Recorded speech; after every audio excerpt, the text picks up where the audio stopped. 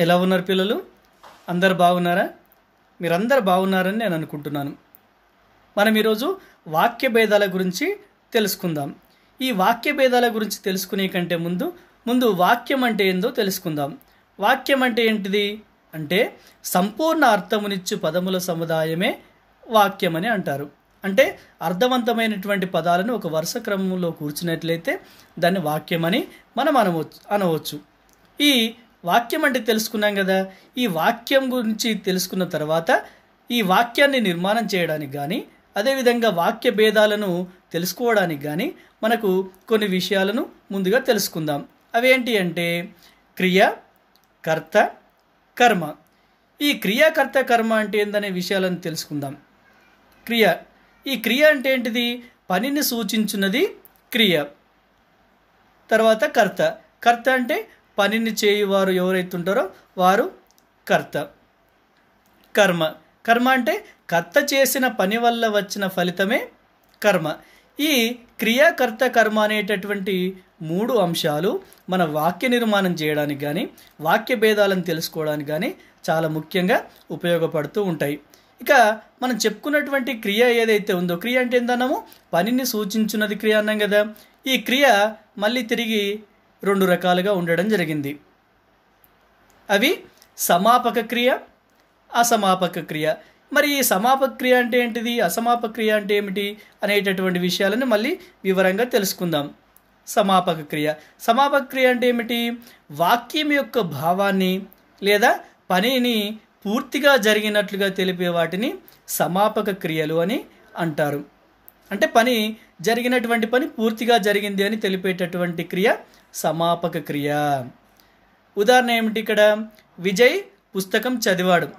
శిరీష అన్నం తిన్నది. మనకి ఇక్కడ గీత గీసినటువంటి పదాలు ఏవైతే ఉన్నాయో అవి? ఏమిటి? చదివాడు తిన్నది. పై వాక్యాల్లో మనం గమనించినప్పుడు చదివాడు తిన్నది అనే క్రియలు సమాపక క్రియలు. అంటే అవి పని పూర్తిగా జరిగిందనే విషయాన్ని మనకి ఇక్కడ తెలుపుతూ ఉన్నాయి. ఇట్లాంటి క్రియలను ఏమంటున్నాం మనము? సమాపక క్రియలు అని చెప్తున్నాము. తర్వాత అసమాపక క్రియ. ఈ అసమాపక క్రియ అంటే ఏమిటి? అంటే వాక్యం యొక్క భావాన్ని లేదా పని పూర్తిగా జరగలేదనే విషయాలను తెలిపే వాటిని అసమాపక క్రియలు అని చెప్పడం జరుగుతుంది.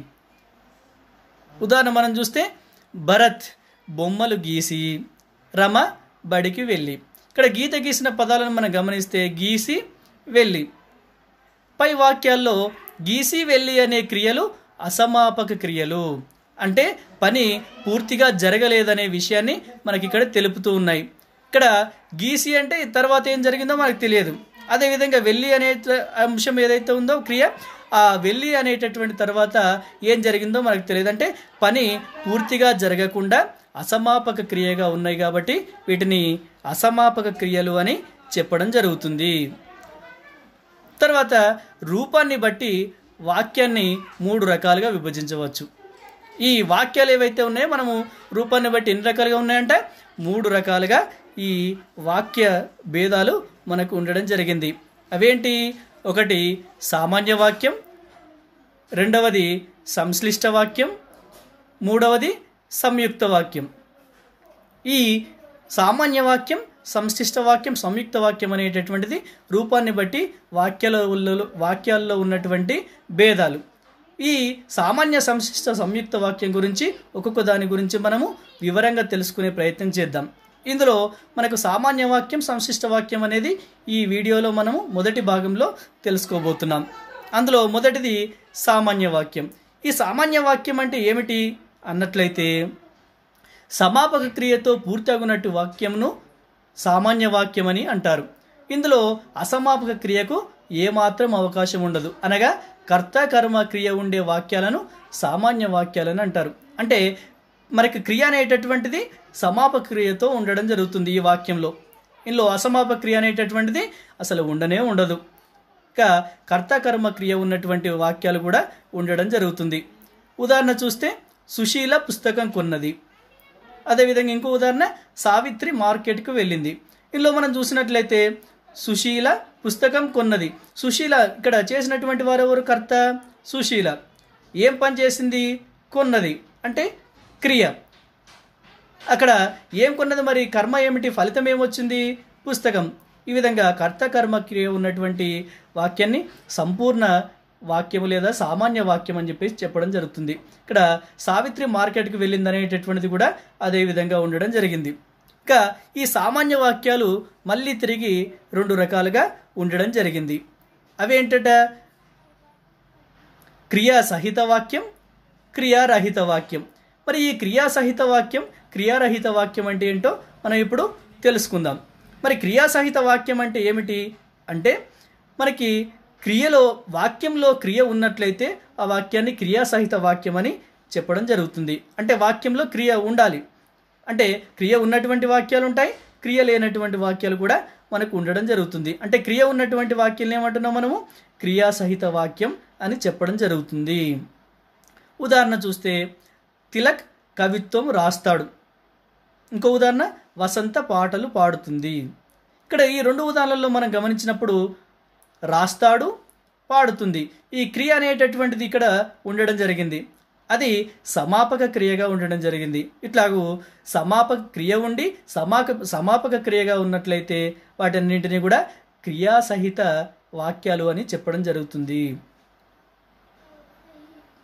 తర్వాత క్రియారహిత వాక్యం. ఈ క్రియారహిత వాక్యం అంటే ఏమిటి? అంటే వాక్యంలో క్రియ లేకుండా ఉన్న వాక్యాన్ని క్రియారహిత వాక్యం అని చెప్పడం జరుగుతుంది. ఉదాహరణ చూస్తే ఆయన డాక్టరు. ఇందులో మనకి క్రియ కనబడుతుందా? లేదు. ఆయన అనేటటువంటిది కర్త డాక్టర్ అనేటటువంటిది కర్మ.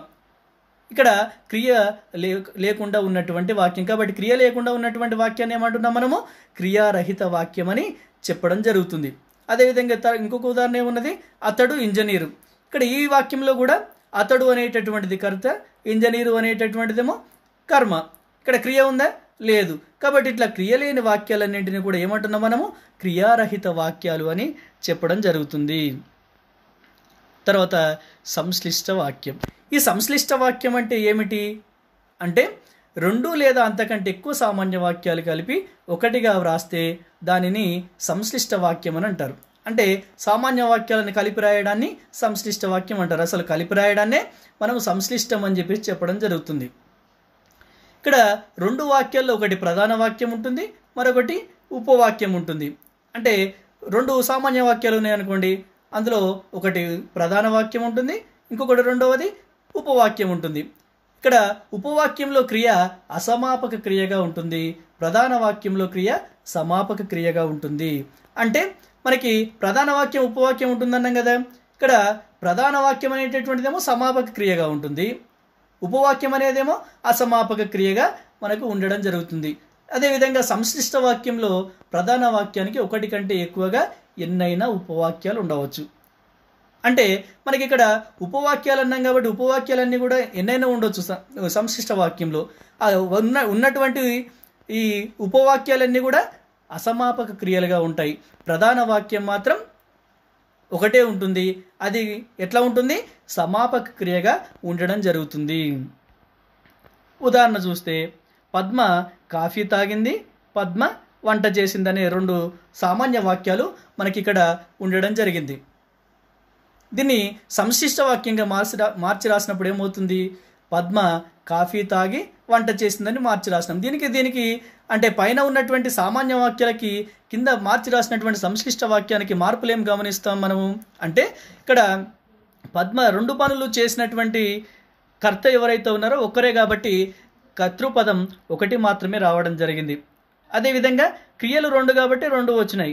ఇక్కడ ప్రధాన వాక్యం ఏంటిది? వంట చేసింది. అదేవిధంగా ఉపవాక్యం అనేటటువంటిదేమో కాఫీ తాగింది.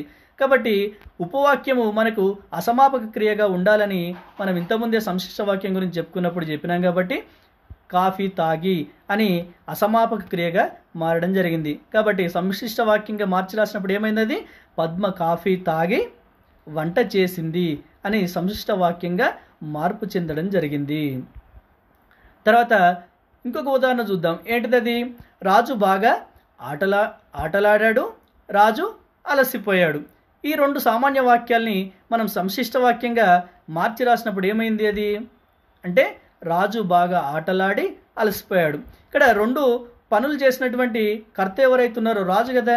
ఇక్కడ ఈ రాజు అనేటటువంటి కర్త రెండు పనులు చేశాడు కాబట్టి కర్తృపదం రెండిట్లలో నుంచి ఒకటి లోపించడం జరుగుతుంది. ఒక కర్తృపదం మాత్రమే సంశిష్ట వాక్యంగా మార్చినప్పుడు రాసాం ఇక్కడ ప్రధాన వాక్యం ఉపవాక్యం అని చెప్పినాం కదా. ప్రధాన వాక్యం ఇక్కడ ఏముంది?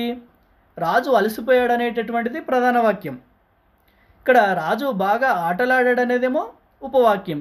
కాబట్టి మనం ఇంతకుముందే చెప్పుకున్నాం కదా ఉపవాక్యం అనేది అసమాపక క్రియగా ఉండాలి ప్రధాన వాక్యమేమో సమాపక క్రియగా ఉండాలి. కాబట్టి ఉప్ అసమాపక క్రియగా ఉండాలి కాబట్టి ఉపవాక్యం అనేది అందుకే రాజు బాగా ఆటలాడి అని అసమాపక క్రియగా మార్చినాము. ప్రధాన వాక్యం సమాపక క్రియగా ఉండాలి కాబట్టి అలసిపోయాడు అనేది సమాపక క్రియగా మార్చి రాయడం జరిగింది. ఈ విధంగా సంశిష్ట వాక్యంగా మార్చి రాసినట్లయితే ఏమైంది అది? రాజు బాగా ఆటలాడి అలసిపోయాడు అనేటటువంటి విధంగా మారడం జరిగింది. ఇది సామాన్య వాక్యం సంశ్లిష్ట వాక్యం అనేటటువంటి వాక్య భేదాల గురించి మనం చెప్పుకున్నాం ఇక ఇంతటితో వాక్య భేదాలలోని సామాన్య వాక్యం సంశ్లిష్ట వాక్యం అనేటటువంటి రెండు అంశాలు సమాప్తం.